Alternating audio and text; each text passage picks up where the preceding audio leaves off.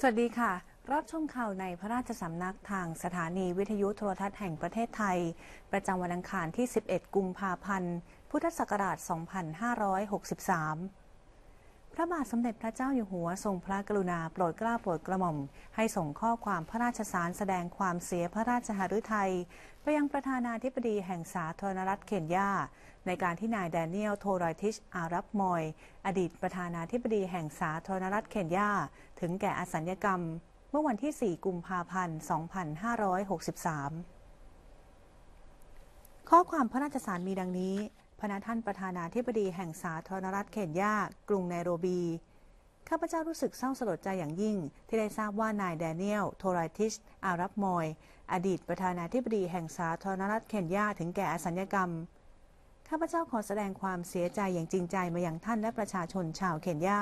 ในการสูญเสียบุคคลสำคัญของประเทศ ซึ่งเป็นที่เคารพยิ่ง และได้อุทิศตนเพื่อสร้างความผาสุกและความเจริญรุ่งเรืองให้แก่ประเทศและประชาชน พระประมาภิไธยมหาวชิราลงกรณ์พระวชิรเกล้าเจ้าอยู่หัว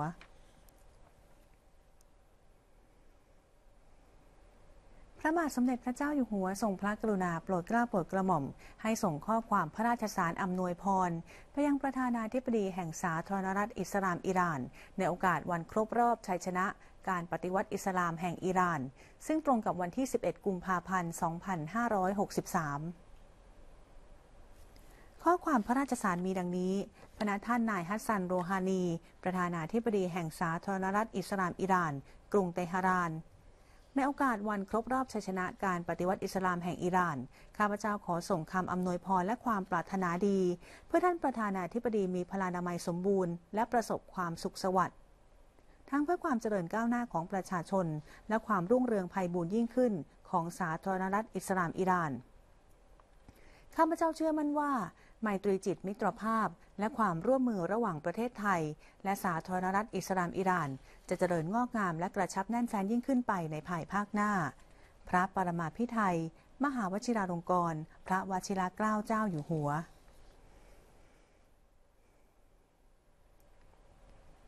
สมเด็จพระนิธิาธิราชเจ้ากรมสมเด็จพระเทพรัตนราชสุดาสยามบรมราชกุมารี เสด็จพระราชดำเนินเยือนสาธารณรัฐอินเดีย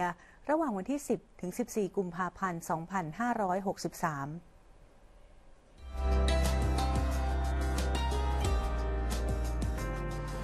วันที่ 10 กุมภาพันธ์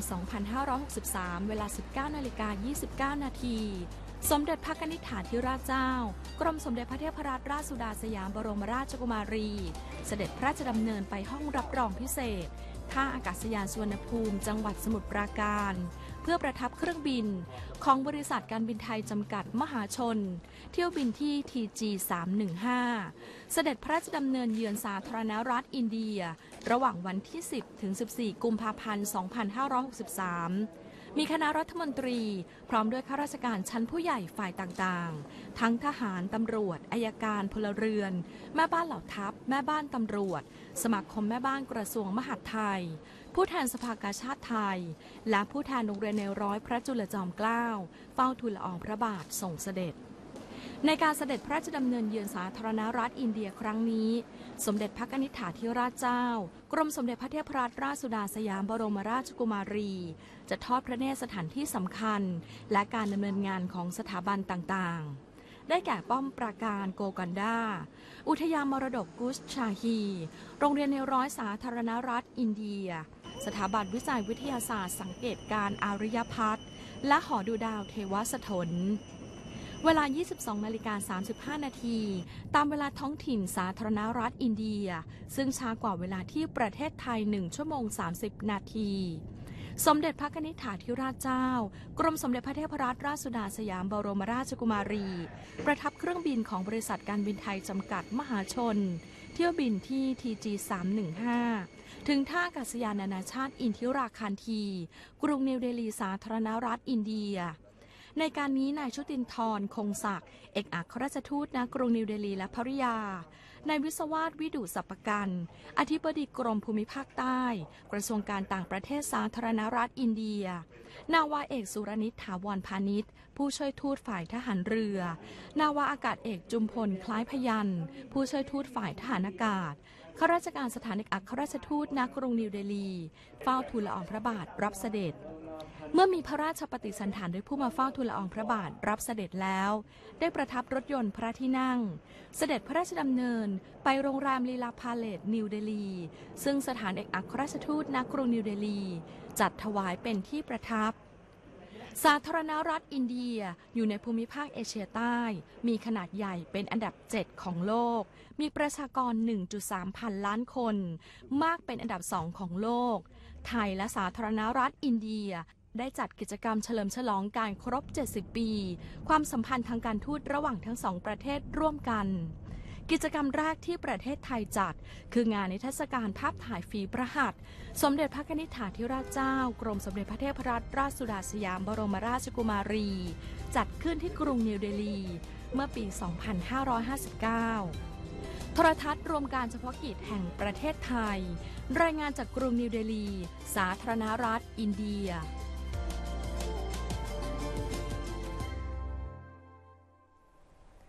องคมนตรีและข้าราชการชั้นผู้ใหญ่จากสำนักพระราชวัง เชิญพวงมาลาหลวง ไปวางที่หน้าหีบศพ เจ้าหน้าที่และประชาชนที่เสียชีวิต จากเหตุการณ์คนร้ายใช้อาวุธสงครามกราดยิงที่จังหวัดนครราชสีมา จากเหตุการณ์คนร้ายใช้อาวุธสงครามกราดยิงเจ้าหน้าที่และประชาชน ที่ห้างสรรพสินค้าเทอร์มินอล21 เมื่อวันที่ 8-9 กุมภาพันธ์ 2563 เบื้องต้นมีผู้เสียชีวิต 30 ราย ซึ่งรวมถึงผู้ก่อเหตุด้วย ทางนี้ญาติได้ตั้งศพบำเพ็ญกุศลณวัดต่างๆ ในภูมิลำเนาของผู้เสียชีวิต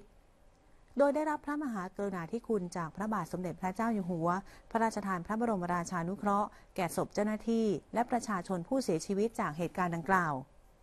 และทรงพระกรุณาโปรดเกล้าโปรดกระหม่อมให้เชิญตะกร้าสิ่งของพระราชทาน ไปมอบแก่ครอบครัวของผู้เสียชีวิตเพื่อเป็นขวัญกำลังใจ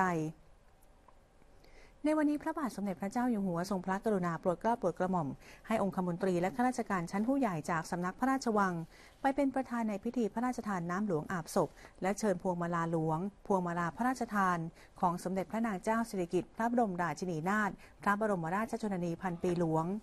พวงมาลาพระราชทานของสมเด็จพระนางเจ้าพระบรมราชินีพวงมาลาพระราชทาน และพวงมาลาประธาน ของพระบรมวงศานุวงศ์ไปวางที่หน้าหีบศพเจ้าหน้าที่และประชาชนดังนี้ ที่จังหวัดราชบุรีทรงพระกรุณาโปรดเกล้าโปรดกระหม่อม ให้ในายเกษมวัฒนชัยองคมนตรี เชิญพวงมาลาหลวง พวงมาลาพระราชทาน และพวงมาลาประธาน วางที่หน้าหีบศพ นายพีรพัฒน์พลสารอายุ 25 ปี ณ วัดช่องลมอำเภอเมืองราชบุรี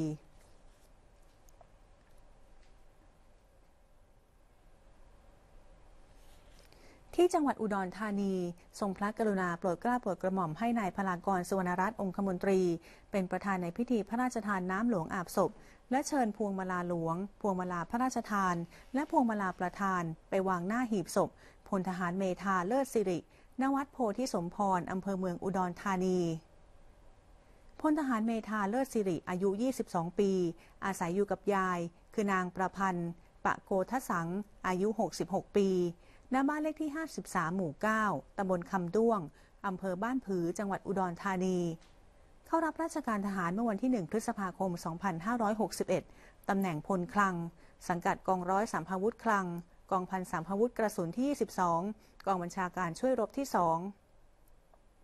ทั้งนี้ครอบครัวผู้วายชนต่างปราบปลื้มและสำนึกในพระมหากรุณาธิคุณอันหาที่สุดมิได้ ที่พระบาทสมเด็จพระเจ้าอยู่หัวทรงพระกรุณาโปรดเกล้าโปรดกระหม่อม รับศพไว้ในพระบรมราชานุเคราะห์โดยมีกำหนดการตั้งบำเพ็ญกุศล ระหว่างวันที่ 11 ถึง 14 กุมภาพันธ์ 2563 และในวันที่ 15 กุมภาพันธ์ 2563 จะมีพิธีพระราชทานเพลิงศพ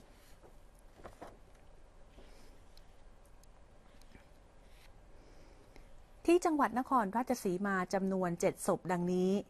ทรงพระกรุณาโปรดเกล้าโปรดกระหม่อม ให้นายอัธนิติดิษฐอำนาจองคมนตรี เป็นประธานในพิธีพระราชทานน้ำหลวงอาบศพ และเชิญพวงมาลาหลวง พวงมาลาพระราชทาน และพวงมาลาประธาน วางที่หน้าหีบศพ นางประพัชยานวลรักษาอายุ 33 ปี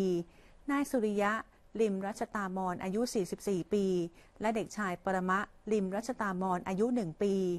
ณศาลาหนึ่ง วัดสุทธจินดา ตำบลในเมือง อำเภอเมืองนครราชสีมา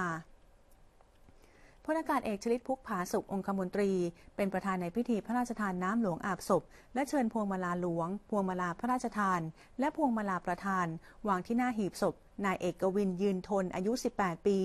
ณบ้านเลขที่ 87 หมู่ 9 ตำบลบ้านใหม่ อำเภอหนองบุญมาก โดยจะมีพิธีพระราชทานเพลิงศพณวัดใหม่ไทยเจริญ ตำบลบ้านใหม่ อำเภอหนองบุญมาก นายจิรายุอิสรางกูลณอยุธยาองคมนตรี เป็นประธานในพิธีพระราชทานน้ำหลวงอาบศพ และเชิญพวงมาลาหลวง พวงมาลาพระราชทาน และพวงมาลาประธาน วางที่หน้าหีบศพ นายสมเกียรติ วิชุปัญญาพาณิชย์อายุ 54 ปีณศาลา5วัดสุทธจินดาตำบลในเมืองอำเภอเมืองนครราชสีมา นายอัมพลกิติอัมพลองคมนตรีเป็นประธานในพิธีพระราชทานน้ำหลวงอาบศพ และเชิญพวงมาลาหลวง พวงมาลาพระราชทาน และพวงมาลาประธานวางที่หน้าหีบศพ นายจิรวัตรรัตกลางอายุ 41 ปีณบ้านเลขที่ 50 หมู่ 5ตำบลขามสแกแสงอำเภอขามสแกแสงและเชิญพวงมาลาหลวง พวงมาลาพระราชทาน และพวงมาลาประธานวางที่หน้าหีบศพ นางกันนิการ การบรรจงอายุ 22 ปี ณ วัดหนองโพ ตำบลชีวึก อำเภอขามสแก่แสง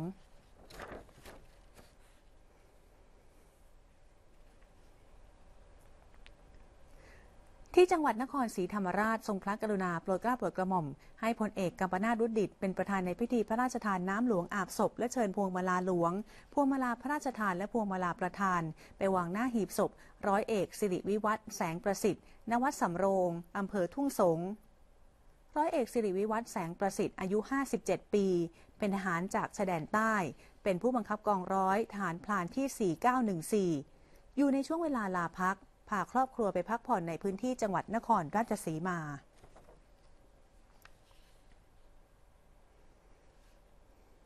ที่จังหวัดสกลนคร ทรงพระกรุณาโปรดเกล้าโปรดกระหม่อม ให้พลเรือเอกพงเทพหนูเทพองคมนตรี เชิญพวงมาลาหลวง พวงมาลาพระราชทาน และพวงมาลาประธานไปวางหน้าหีบศพนางพัชราจันเพ็งณศาลาบำเพ็ญบุญ วัดป่าภูทรพิทักษ์อำเภอเมืองสกลนครนางพัชราจันเพงอายุ 54 ปี ภูมิลำเนาเดิมอยู่ที่อำเภอสมสมเด็จจังหวัดกาลสิน เข้ารับราชการครูที่โรงเรียน บ้านกกปาซิลนาโด อำเภอภูพาน จังหวัดสกลนคร ปัจจุบันดำรงตำแหน่งครูชำนาญการพิเศษ อยู่อาศัยกับสามี มีลูกสาวเรียนจบปริญญาตรีหนึ่งคน และลูกชายอีกคนกำลังจะจบชั้นมัธยมศึกษาปีที่ 6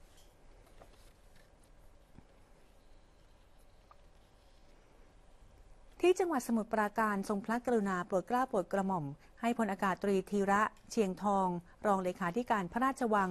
เป็นประธานในพิธีพระราชทานน้ำหลวงอาบศพ และเชิญพวงมาลาหลวง พวงมาลาพระราชทาน และพวงมาลาประธานไปวางหน้าหีบศพ นางสาว อาริยากรีบเมฆอายุ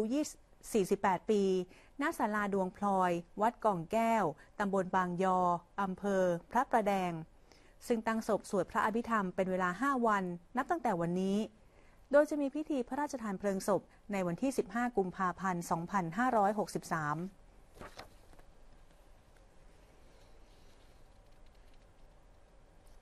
ที่จังหวัดสมุทรสาคร ทรงพระกรุณาโปรดเกล้าโปรดกระหม่อม ให้นายจิตรพัฒน์ไกลเลิก ประจำสำนักพระราชวังพิเศษระดับ 10 เชิญพวงมาลาหลวง พวงมาลาพระราชทาน และพวงมาลาประธาน วางที่หน้าหีบศพ นางจุธารัตน์ริมสิริวันอายุ 59 ปี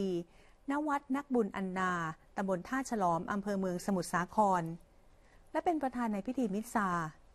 โดยมีนายวีรศักดิ์วิจิตแสงสี ผู้ว่าราชการจังหวัดสมุทรสาคร หัวหน้าส่วนราชการในพื้นที่ ตลอดจนจิตอาสาพระราชทานร่วมในพิธี นางจุธารัตน์ริมสิริวันเกิดวันที่ 11 ธันวาคม 2501 ประกอบอาชีพค้าขาย ด้านครอบครัวสมรสกับนายมงคลเล็กประเสริฐ มีลูกชายสองคน คือนายสันติเล็กประเสริฐอายุ 41 ปี และนายภูริพงษ์เล็กประเสริฐอายุ 38 ปีโดยในวันที่ 13 กุมภาพันธ์ 2563 จะมีพิธีวางดินพระราชทานในการฝังศพณสุสาน วัดนักบุญอันนา ในเวลา 11 นาฬิกา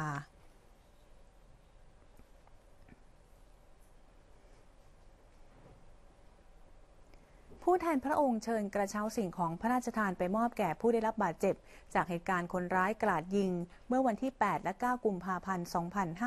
2563 ในพื้นที่จังหวัดนครราชสีมา สมเด็จเจ้าฟ้ากรมพระศรีสว่างควัตวรขัติยราชนารี ทรงห่วงใยเจ้าหน้าที่และประชาชน ที่ได้รับบาดเจ็บจากเหตุการณ์คนร้ายกราดยิง เมื่อวันที่ 8 และ 9 กุมภาพันธ์ 2563 ในพื้นที่จังหวัดนครราชสีมา ดยในวันนี้ได้โปรดให้ศาสตราจารย์นายแพทย์นิธิมหานนท์เลขาธิการราชวิทยาลัยจุฬาภรณ์เป็นผู้แทนพระองค์ เชิญกระเช้าสิ่งของพระราชทาน ไปมอบแก่ผู้ที่ได้รับบาดเจ็บ พร้อมกับเยี่ยมให้กำลังใจญาติ ณ โรงพยาบาลมหาราชนครราชสีมาอำเภอเมืองนครราชสีมา ซึ่งมีผู้บาดเจ็บพักรักษาตัวจำนวน 19 ราย ณโรงพยาบาลค่ายสุรนารี อำเภอเมืองนครราชสีมา มีทหารและตำรวจที่บาดเจ็บพักรักษาตัวจำนวน 4 นาย ประกอบด้วยพลทหาร โชคชัย มูลจันทา พลทหารอัธพล วงพล พลทหารพานุวงศ์ เลิศสงคราม ระดับตำรวจสามชาย แพเกาะ และณโรงพยาบาลกรุงเทพราชสีมา อำเภอเมืองนครราชสีมา มีผู้บาดเจ็บพักรักษาตัวจำนวนสองคน ซึ่งเป็นเจ้าหน้าที่รักษาความปลอดภัยภายในห้างสรรพสินค้าเทอร์มินอล21ประกอบด้วยนายชนวี จันทร์สิริสุข อายุ 38 ปี หัวหน้ารักษาความปลอดภัย พักรักษาตัวอยู่ในห้อง ICU และนายสุภชัยแตงอยู่อายุ 42 ปี เจ้าหน้าที่รักษาความปลอดภัย โดยทั้งสองคนอาการปลอดภัยแล้ว การได้รับสิ่งของพระราชทานอย่างความซาบซึ้ง และสำนึกในพระกรุณาที่คุณเป็นล้นพ้นหาที่สุดมิได้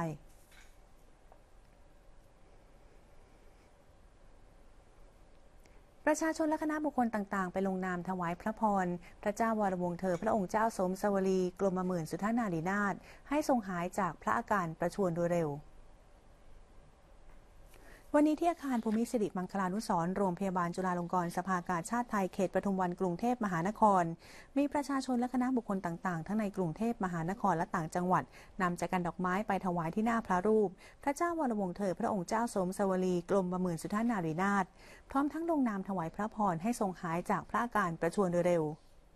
ทั้งนี้สำนักพระราชวังเปิดให้ลงนามถวายพระพรทุกวัน ตั้งแต่เวลา9นาฬิกาถึง 16นาฬิกา30นาที